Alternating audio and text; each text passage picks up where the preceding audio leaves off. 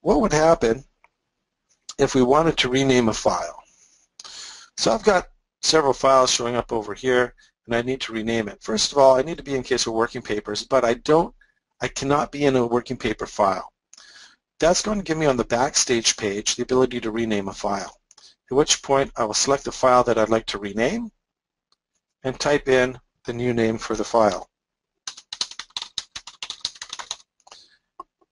Now, it does allow me to generate a new identifier for this file, and then I can hit rename file. And then what will happen is this file will be renamed to the new name provided.